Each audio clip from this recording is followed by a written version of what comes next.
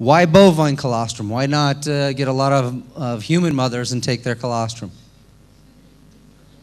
Would you human mothers give up your colostrum? No. But bovine colostrum is, is actually very abundant. In the United States alone, there are over 12 million milking cows. Uh, a mother milking cow will produce almost uh, 16 gallons worth of colostrum at the very beginning. It's only produced, though, one time. It contains different growth factors. In 1999 at Harvard University, we started looking at the human body.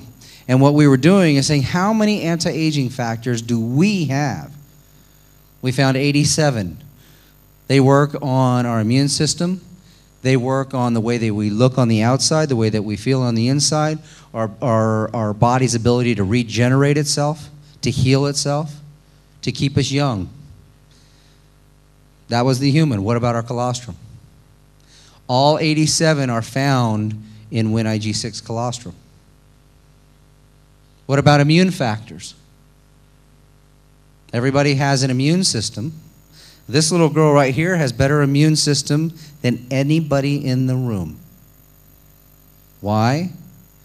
Because our immune system when we're born is somewhat functional. Between the ages of 0 and 3, it's still building, but from 3 until puberty, it's functional. It's keeping us healthy. But after puberty, 12 or 13 years old, it starts to die off and shrink. By the time you hit my age, 38, your immune system, the thymus gland, has gone from the size of a small navel orange to the size of a pea. If you're 45 to 50, it's just a strand of tissue. This gland is the director of your whole immune system. It tells you when you're going to, to fight a cold, how you're going to fight disease, how you're going to defend yourself against SARS. If you don't have a functional immune system, quit.